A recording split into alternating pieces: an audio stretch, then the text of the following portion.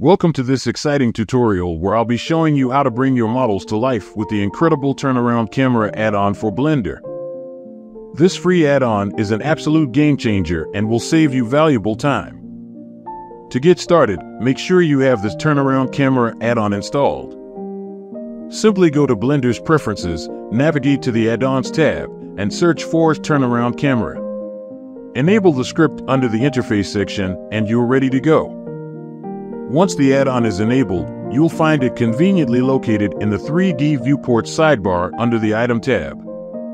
Select the object you want to showcase in a stunning 360-degree turntable animation and with a single click of the turnaround button. Watch the magic unfold as the camera smoothly rotates around your model. But that's not all. The turnaround camera add-on offers additional options for you to fine-tune your animation and create captivating visuals.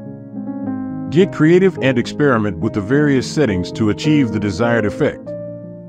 If you're enjoying this tutorial and finding it helpful, I would greatly appreciate your support by subscribing, liking, and sharing this video.